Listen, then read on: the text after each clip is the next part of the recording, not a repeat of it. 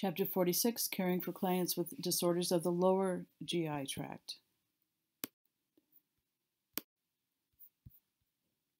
Constipation, the cause um, are a number of things. Uh, peristalsis is not working, um, abdomen is distended and perhaps um, obstructed, and um, also lack of fiber, lack of water. Um, as you get older, your muscles relax. Um, normal defecation process includes peristalsis, um, distension of the rectal area and gastrocolic reflex, and stool retention, um, stool passage.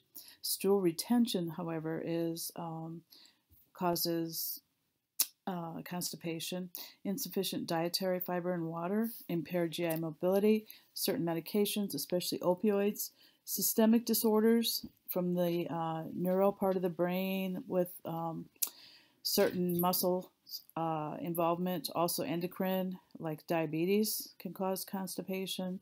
Anatomic disorders can cause strictures and stenosis.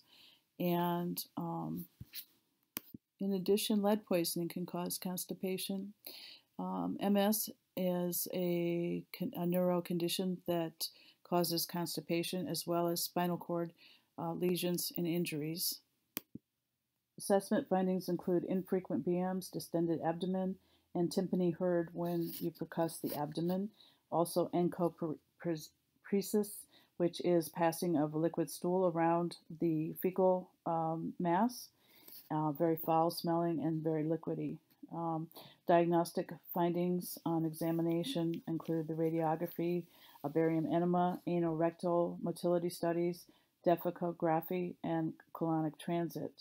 Medical and surgical treatment, um, treat the cause. You can provide enemas, laxatives, stool softeners, and change your diet. Is the following statement true or false? The stomach is part of the lower GI system.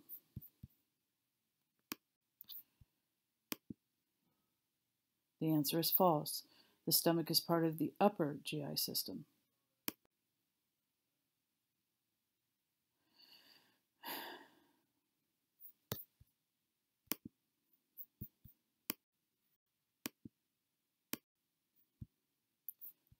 Diarrhea is frequent stool, liquid, or semi-liquid.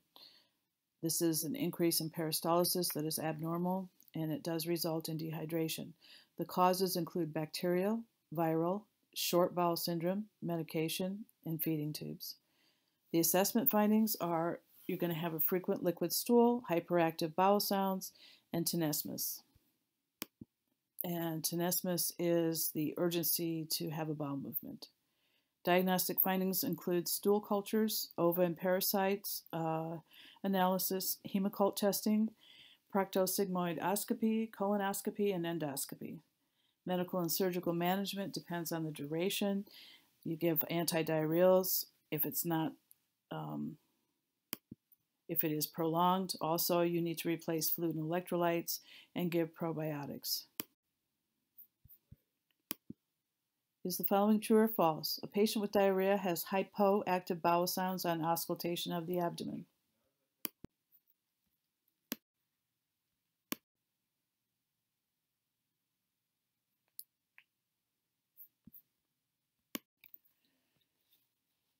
Diagnostic findings include uh, stool analysis, WBC count, erythrocyte sedimentation rate, elevation, uh, barium enema, endoscopy examinations, biopsy, upper GI series with a small bowel follow through. Medical management is supportive through diet, TPN, we've talked about that, IV therapy, whole blood, medications, anti diarrheals, anti-peristaltics, 5 ASAs, which is a salicylate type group of medicines, corticosteroids, immune modulators, and infliximab. You can see those in your book and read more about those. Surgical management is reserved for complications. Um, one of the surgeries creates a shorter bowel. Uh, that's why it's called short bowel syndrome. Also, you could have an intestinal transplant, uh, which is more common these days. And if everything else does not work, um, eventually an ileostomy that's permanent. 75% of the people require um, surgery within 20 years of symptom onset, and 90% require surgery within 30 years of onset.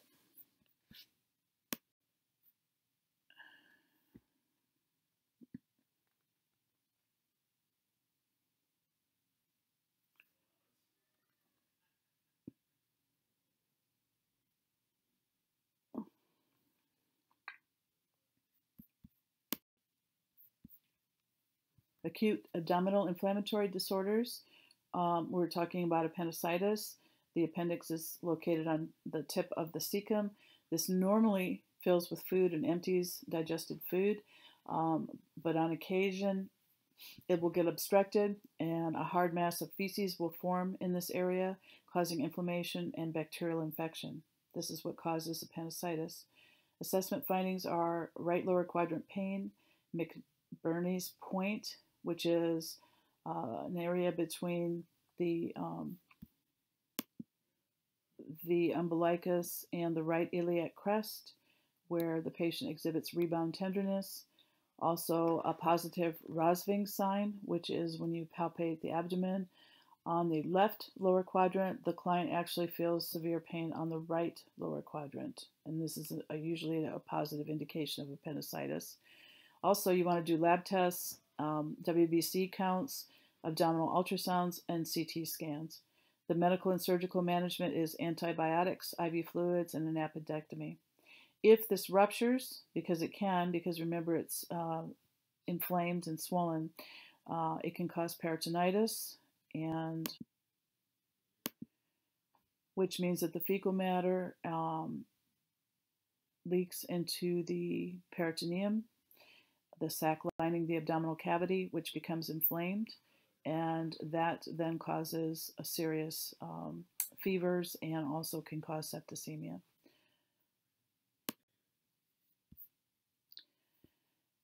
Now, this is another acute abdominal inflammatory disorder called peritonitis. This is due to inflammation of the peritoneum. This can happen from a perforated peptic ulcer, a bowel that's uh, perforated, an appendix that um, perforated, or I should say,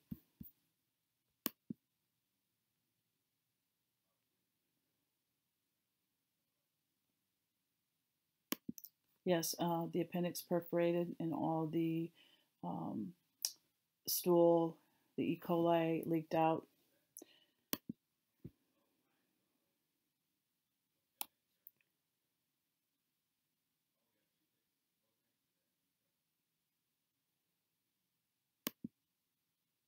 Irritable bowel disease can cause it, ruptured ectopic, uh, ectopic pregnancies, infection from peritoneal dialysis, and any kind of bacteria and um, abdominal trauma can cause this. Signs and symptoms are lack of bowel motility.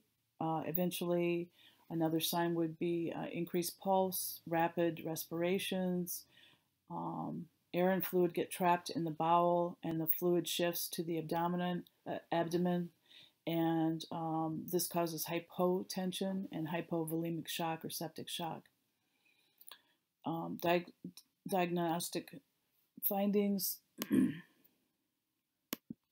diagnostic findings include WBC count, radiograph, CT scan, ultrasounds, C&S of the uh, peritoneal fluid, um, which often you'll find E. coli. Um, medical and surgical management include NG tubes, NG tube, IV fluids, electrolytes, antibiotics, antiemetics, and um, you need to surgically close that perforation of the uh, peritoneum. Um, pain meds would include Demerol and um, morphine sulfate, antiemetics, and again, surgically close the perforation.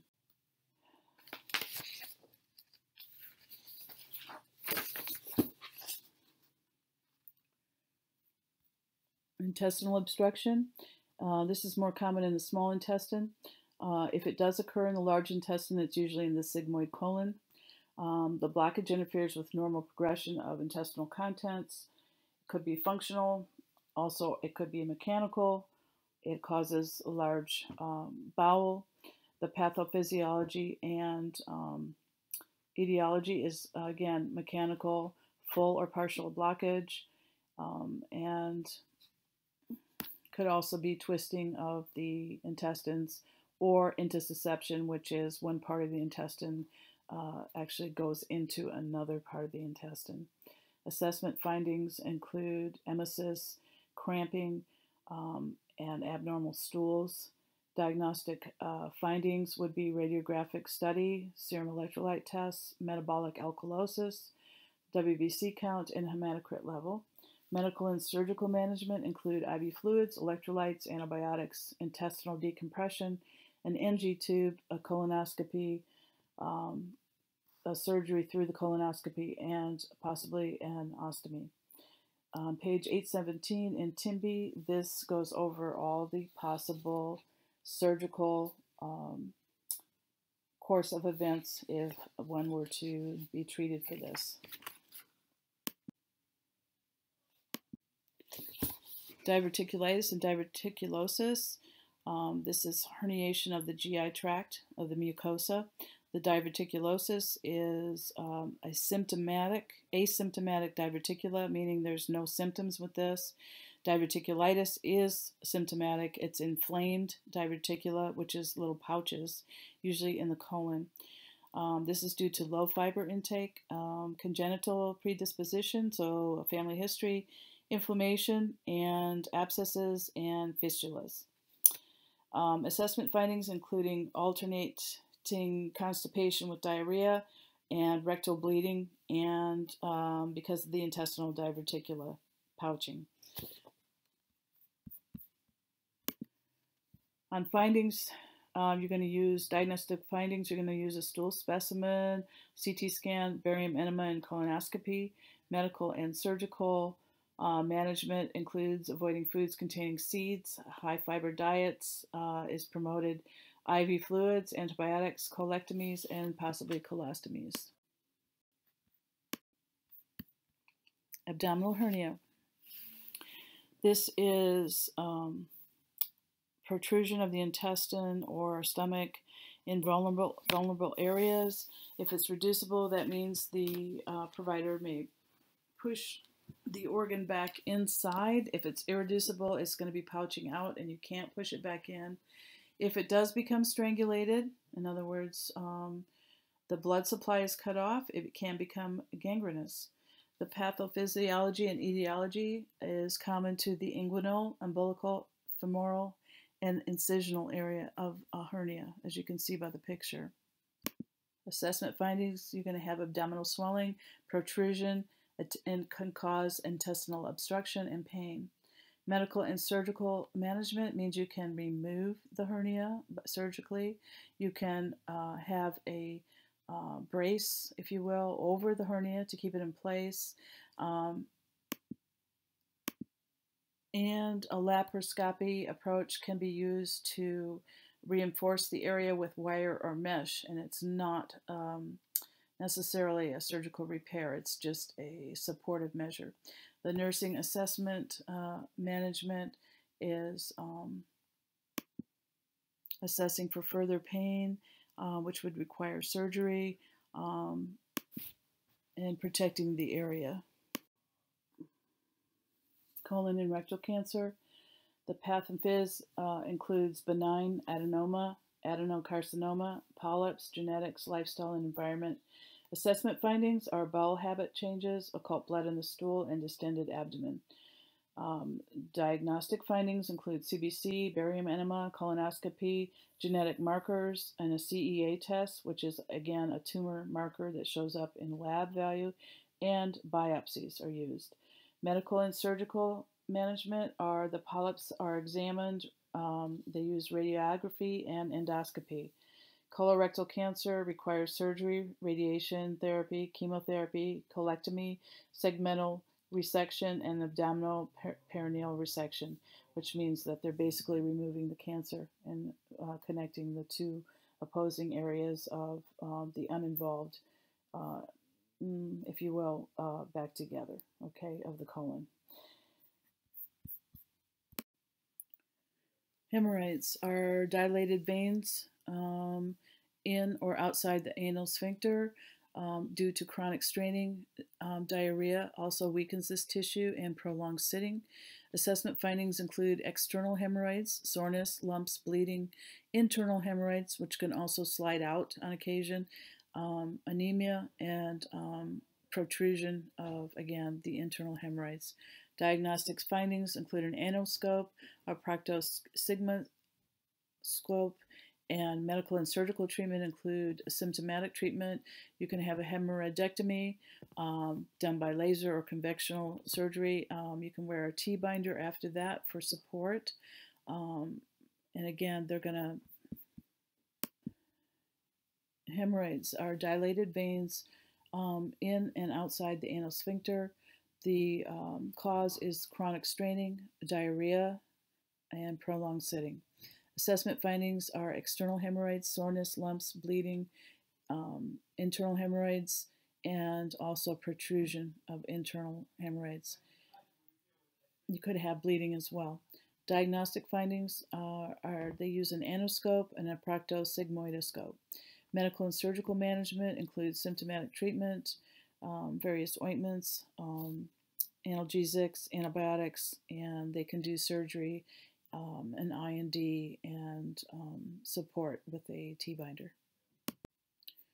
Anorectal abscesses are infections with pus collection between external and internal sphincters. The pathophys and etiology is microbes uh, transmitted through anal intercourse or foreign bodies inserted into the rectum. Assessment findings include pain, edema, uh, a mass, fever, and foul smelling drainage. Medical and surgical management is pain relievers, analgesics, antibiotics, incision, and drainage.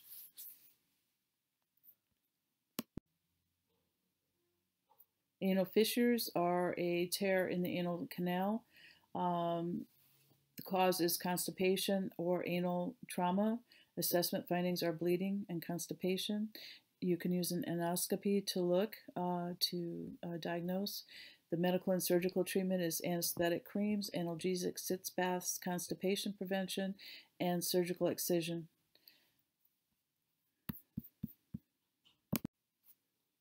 Anal fistula is uh, anal ca canal tract formation, and the cause is an inadequate healing of the anal rectal abscess that you may have.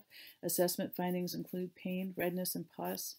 Uh, diagnostic findings through a proctosigmoidoscopy and a colonoscopy. Medical and surgical management includes antibiotics, a fistulotomy, fistulectomy, uh, and a non-cutting seton. And the non-cutting seton is a um, suture or drain placed inside the opening of the fistula into the lumen of the anal canal and back out, and it's tied to itself to drain. Pilonidal sinus and cyst is an infection in the hair follicles of the sacrococcygeal area. The pathophys and etiology is inadequate personal hygiene, obesity, or trauma. Assessment findings is deep intergluteal cleft and abundant hair, pain and swelling, and purulent drainage. Medical and surgical management include uh, drainage of the abscess, incision, packing, and wound healing via secondary intention, which means they leave it open. Nursing management is um, comfort levels and providing medication and teaching.